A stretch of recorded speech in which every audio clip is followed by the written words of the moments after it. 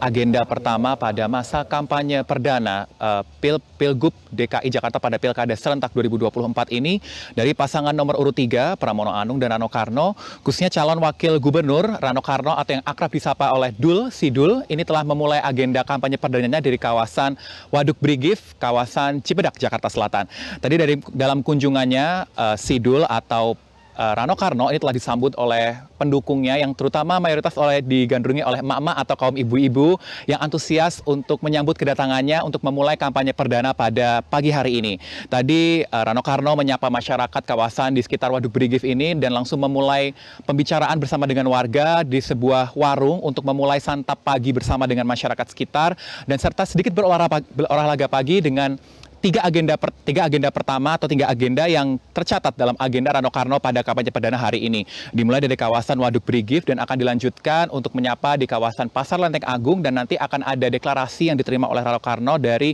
pemuda kaum Betawi di kawasan Balai Haji Sanusi kawasan Jakakarsa, Jakarta Selatan. Dan tadi dalam sambutannya serta dalam keterangannya Rano Karno menyebutkan tadi sedikit berbincang dengan masyarakat sekitar mengenai harapan-harapan mereka apabila Pramono Anung dan Rano Karno nanti terpilih sebagai uh, calon gubernur dan calon wakil gubernur Jakarta pada Pilkada serentak 2024. Dan tadi uh, Rano Karno menyebutkan kepada masyarakat untuk tidak golput karena suara mereka uh, sangat penting untuk menentukan nasib Jakarta dalam lima, lima tahun ke depan setelah Pilkada serentak khususnya Pilgub Jakarta 2024. Dan terus kita akan kawal bersama bagaimana agenda Rano Karno pada kampanye perdana hari ini karena memang pada pagi hari ini Rano Karno datang sendiri tidak bersama dengan pasangan yakni Pramono Anung dalam uh, kampanye perdana kampanye perdana pada hari ini.